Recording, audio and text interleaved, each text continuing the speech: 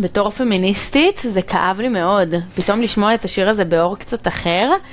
אה, וזה רק חלק קטן מהשיר, בקטעים אחרים היא גם מוכנה להתהלך בסחבות ולנקות מרצפות. היא מוכנה שהוא יבגוד בה, היא מוכנה שהוא כן, ילך עליה, ו- שבסוף ואני חושבת יסלק שהקטע אותה. הכי, הכי עצוב אולי ב, ב, בשיר הזה, זה ש... היא שואלת, זאת אומרת, באיזשהו שלב הוא אומר לה, ואם אני אגיד לך ללכת, ואז היא אומרת לו, "ת- תבקש ממני הכל, אני לא זה, רק אל תגיד לי לשכוח ממך. אבל היא מדהימה. היא מדהימה כי תמיד יש לה כוח בשבילו. חבל שרק בשבילו ולא בשביל עצמה. את אומרת מניסיון.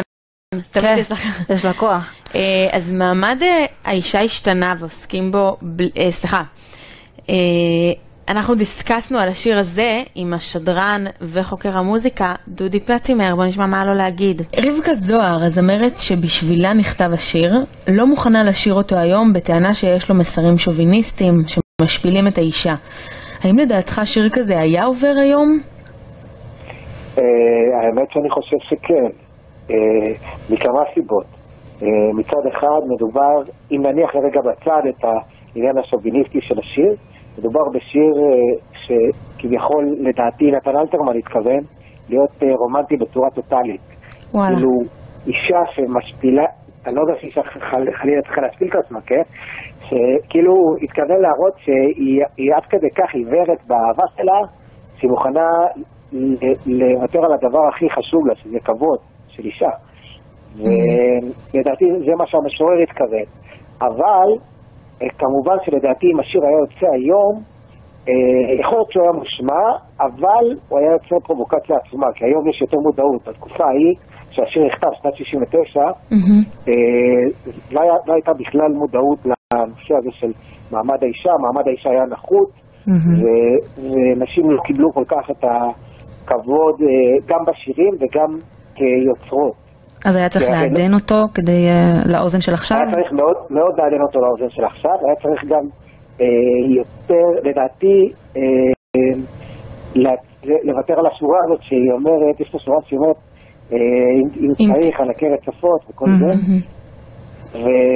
אבל אתה אומר שבעיני אלתרמן, בזמנו הוא דווקא היה מחמיא אולי, שככה את מתמסרת וככה את טוטאלית? לדעתי, לדעתי מבחינתו של, של יוצר כמו אלתרמן, תמיד היה כזה מיוחד ביצירה שלו, הוא השתמש בהרבה מטאפורות, לדעתי הוא לא, התכו... הוא לא בא מהמקום של אה, כאילו לראות את האישה כמשהו נחוץ שצריך להשפיל את עצמו למען אה, אהבתו לגבר, אלא הוא בא יותר להביע אישה שמאוהבת בגבר שלה עד, אה, עד טירוף חושים.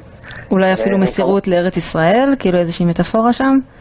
יש כאלה שטוענים, אבל אה, אי אפשר לדעת למה התכוון המשורר חוץ מהמשורר עצמו. אה, וזה טוב לנו המסתורין הזה, את יודעת. כן, נכון. ישראל.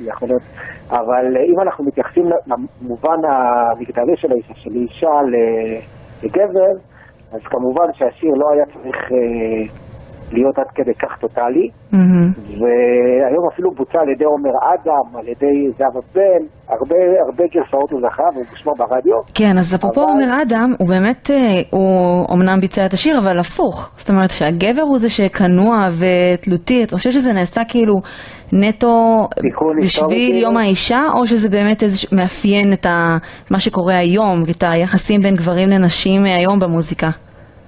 האמת שאני חושב שספציפית הביצוע, הגרסה של עומר אדם שכאילו גבר שר לאישה זה כאילו ספציפית היה ליום האישה כדי להתאים את זה לגבר, את הטקסט. אבל אה, עקרונית לדעתי זה לא צריך להיות לא ככה ולא ככה, לדעתי צריך להיות שוויון. אז השיר לא מתאים, כאילו אם אנחנו מת- מתייחסים להחצי בין גבר לאישה, אז השיר הוא לא כאילו שיר אהבה האידיאלי, לא לצד הזה ולא לצד הזה.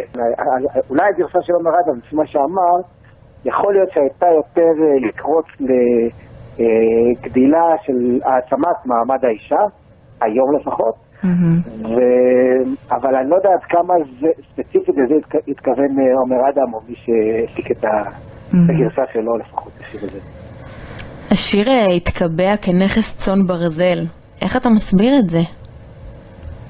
אה, פשוט מאוד, גם אה, טקסט, אה, שגם אם את לא מסכימה עם הטקסט, כן, את מרגישה בום כשאת שומעת אותו, כי את מרגישה איזה, זה טקסט עוצמתי, כאילו, אי אפשר להתעלם מזה, נכון. לטוב ולרע. זה טקסט שכאילו, אה, כל אחד יכול לקחת איזה מקום של הזדהות איתו, אולי לא בטוטליות הזאת או במסירות הזאת, אבל את, ה, את ההרגשה הזאת של, של כאילו לאהוב עד כלות. וגם כמובן הלחן של אריה לבנון והעיבוד הקלאסי, אה, כאילו, והקול העצמתי של רבקה זוהר, רבקה זוהר יש לה קול אלוהי, אין מה לומר. אז כאילו כל, המרכיבים האלה, טקסט, לחן, ביצוע ועיבוד, מהמם. זה קלאסיקה ישראלית. אה, שהתגברו על המילים הקשות אולי. ברור, זה לא אולי, זה בטוח שהביצוע, אם לא הביצוע הזה, אם נגיד זמר אחר, זמרת אחרת, סתם דוגמה, שהיא לא כל כך, אה, יש לה קול כמו של רבקה זוהר, לא התחב, לא ביצעה בצורה כזאת, והלחן היה קצת אה, רעוע, אף אחד לא מתייחס לשיר הזה בכלל. אבל אה, בכלל, באופן כללי, צריך להסתכל על שיר כאלה מעביר מסר, איזושהי הנחיה חינוכית, ללמוד מזה, או שפשוט לקבל אותו כיצירה אומנותית, ולאו דווקא ללמוד ממנו, כאילו פשוט להידהם. אה, זה, זה גם, אתה יודע, כל אחד לוקח שיר, כאילו, את יודעת, לכיוון שלו, יש, נגיד את שומעת שיר, יכול להיות שעה אישית.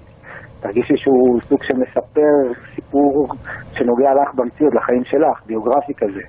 ואז את אה, תאמצי אותו אלייך כשיר שצריך להסתכל עליו מעבר לעוד שיר ויצירה.